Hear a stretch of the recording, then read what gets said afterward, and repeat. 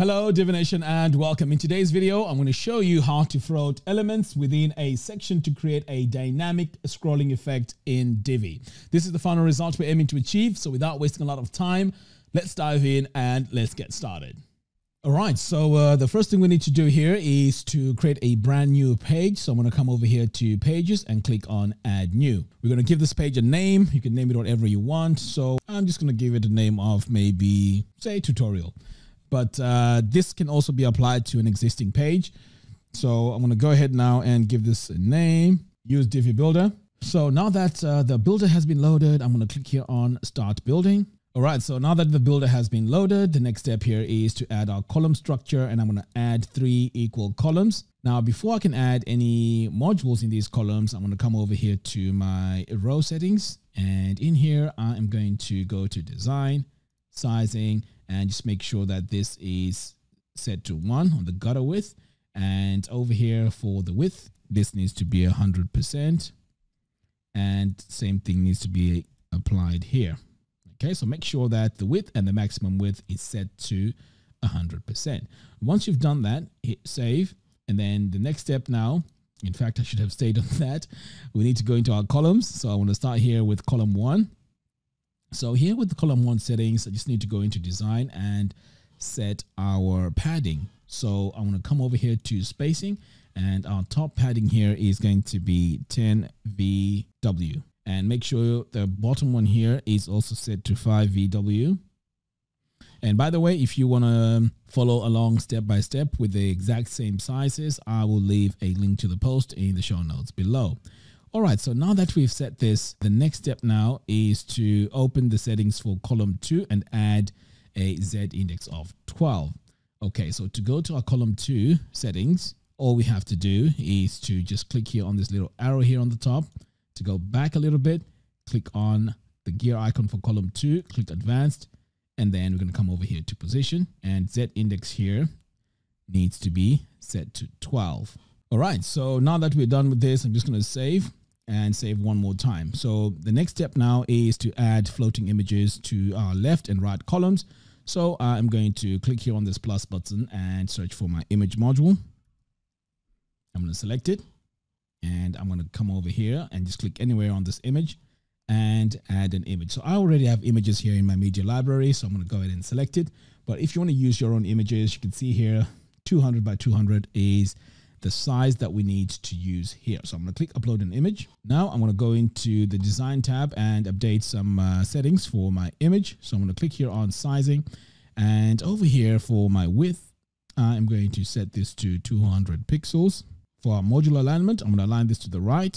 And then for the blur, now this is going to be over here on my filters and I'm going to look for my blur and set it at two pixels. And then I'm going to come all the way down here to transform. So this time I need transform translate and the values that I need are going to be 58 minus 58 and 63.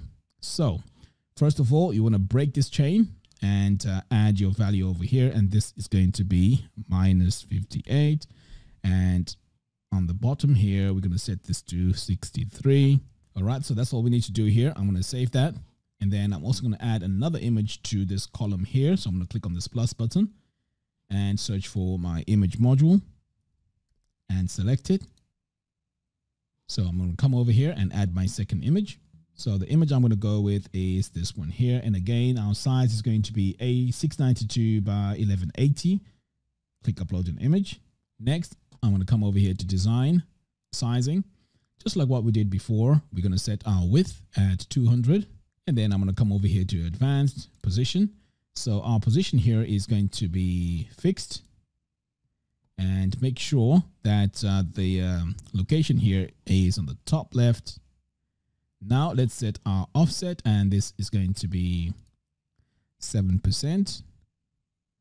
And over here for the horizontal one, it's going to be 5%. So moving on, let's add another image. So I'm going to save that.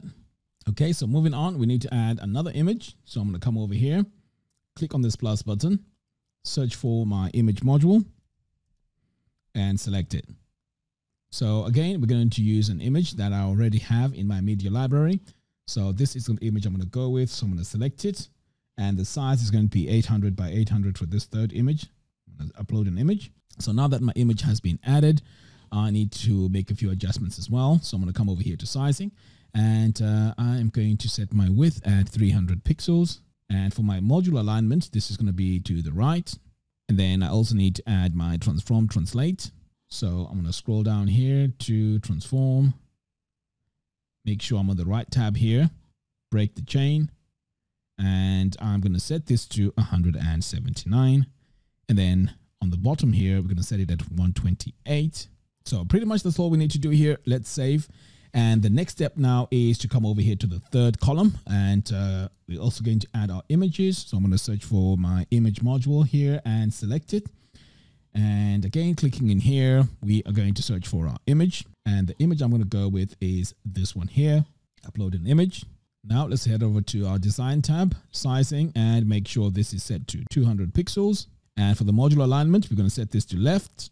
And we also need to add a blur to this. So we're going to come over here to our filters and set our blur to 4 pixels. And then we're going to go into transform translate. Click here on the second tab, break the chain, and we're going to set this to minus 9. And then over here on X, on the X axis, we're going to set this to minus 30. Okay, so now that we've added our image, let's move on and add our second one over here to the right column. So I'm going to click here on this plus button, search for my image module, select select it, and then I'm going to choose the image. And the image I'm going to go with is this one here. Upload an image. And the process is the same. We still need to go in here and make our adjustments. So over here, we're going to set our width to 200. And we're also going to set our position to fixed. So I'm going to come over here to the third tab and click on position. Make sure you choose fixed. And this time the position is going to be on the bottom right. So making sure I select bottom right. I'm also going to set my offset and it's going to be 7% and 5%. And let's save this.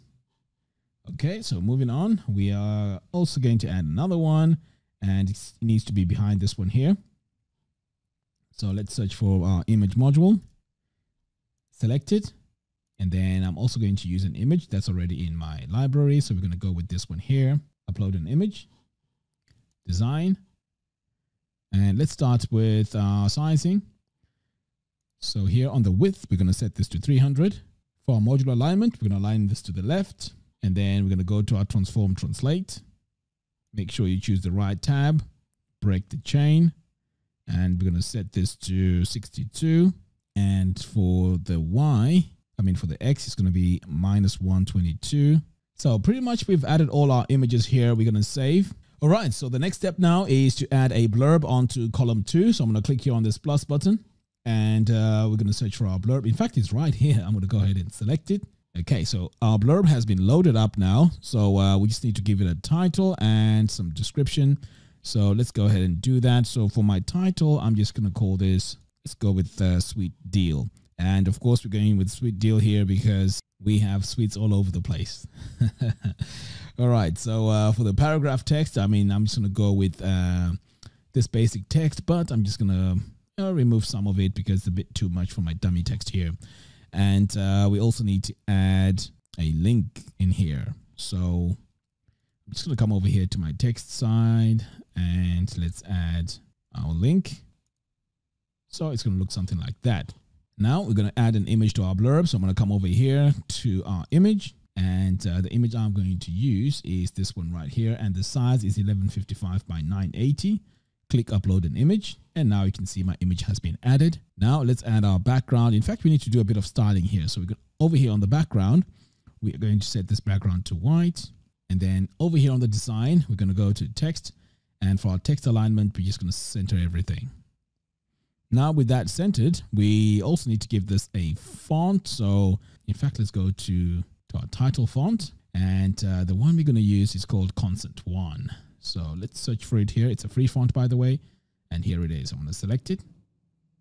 So that's going to be our font. And uh, while we're here, we might as well add our color, which I'll add by clicking here on this eyedropper tool and just pasting my color like that. And by the way, if you want to use the exact same colors, I will leave a link to the post in the show notes below.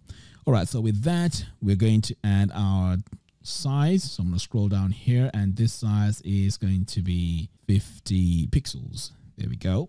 So we want it nice and big. And then um, our body font is going to be the same as well. We're going to come over here and set this to constant one. So this time I don't have to search for it because I've used it already. So it needs, so it's right here, okay, on my drop down. There we go. The next step now is to add our size, which is going to be 20 pixels. And we also need to adjust our line height. So we're going to come over here and set it at 1.8. So I'm just going to nudge this a little bit so that it's easier to read. So next we need to adjust the link font. So to adjust the link font, you want to come over here to this second tab. And for the link font, we are going to make it all caps. And we can also add a link color here. If you want, you can leave it as it is. But uh, if you want to go in and give it a specific color, you can just click here on this eyedropper tool and paste your color like that. Right, so with that color selected, you can also adjust the link text size, set this to 20. So it's nice and big. And then uh, let's head over here to our letter spacing. And here we're going to set it to 5 pixels. And then our width is going to be 400. So I'm going to come over here to sizing and set our width here to 400. Right, so moving on, we're also going to add padding around it. So I'm going to scroll down here to spacing and let's add a padding of 30 pixels all around. Okay, so now that I've added 30 here, I can, I can just activate my chain so the value can be applied pretty much across everything. Okay, so now that I've added this and we've added all the settings that we need to add in here, the next step now is to add our rounded corners and add a shadow. So I'm going to come over here to border and for rounded corners, I'm going to set this to 10 and this is going to be applied all around because my chain here has been activated. Now I know you can't really see what's happening here and that's because we have a white background and we also have a background here that's also white. So in order for us to make this look much better, we need to choose our shadow by coming over here to box shadow. And this is the shadow that we're going to go with. And now you can see it really stands out. And we also need to reduce the intensity of the blur strength here. So let's set this to 80 pixels. And you can see now that's looking much, much better. So finally, we need to give this blurb a fixed position. So I'm going to come over here to advanced position. And let's change this to fixed. And we want this middle center. So now that we've added all this, I'm going to save this. So as you can see, this design here is pretty much covering this space here. So let's add a dummy section for the top and the bottom. So I'm going to click here on, uh, in fact, let me just scroll until I see all my uh, trolls. So I'm going to click here on this plus button and we're going to add a regular section. Just going to close this for now. And that section that we've just created, we can give it a background color. Now, right now, I can't really see where it is. So I'm going to click here on wireframe view and here it is. So I'm just going to go in and give this a background color come over here to background and I'm going to add my color. And by the way, if you want to use the exact same colors as I'm using throughout this tutorial, I will leave a link to the post in the show notes below. So now that I've added the color, I may also want to add a few more things. So let's give this a bit of height. So I'm going to come over here to design, sizing. And for the height here, I'm going to set this to 100 VH. Okay, so now that we've created this, I'm just going to save this and then I'm just going to duplicate this and drag this one here to the top so that our main design that we've been working on is here in the middle. So over here on the top, you can add is uh, whatever content that you need to do, I mean to add to it. And also here on the bottom section, you can also do the same. Now let's switch over here to the front. So what we're going to do, what we're going to do here is to add some parallax. So you can see here, my bottom section has been added and my top section has been added as well.